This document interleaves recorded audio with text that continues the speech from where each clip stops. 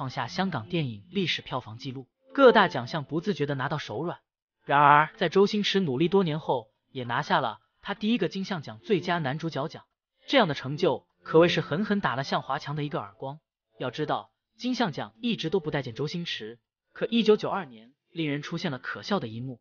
香港年度票房前十名中，周星驰一个人就包揽了前五名，更是击败了香港多个天王巨星，成为当年当之无愧的票房收割机。就当大家都觉得周星驰会获奖时，中途却被梁家辉截胡。或许是看到大家对周星驰的不公，才会有在台上为周星驰发声的一幕。可是这不但没有起到好的用处，反而加深了向华强与周星驰的矛盾，并且让不少明星都开始纷纷指责周星驰。最后，周星驰默默用一句“对不起，我老了”。回复了一切，随着周星驰的回应，舆论才慢慢的平息。但是大家一直都很好奇，为什么向华强不敢动周星驰呢？这无疑是害怕周星驰的两大靠山，一个是中国电影集团董事长，另一个是周星驰的粉丝力量。周星驰也是对一些舆论选择不回应也不回怼的态度中平息。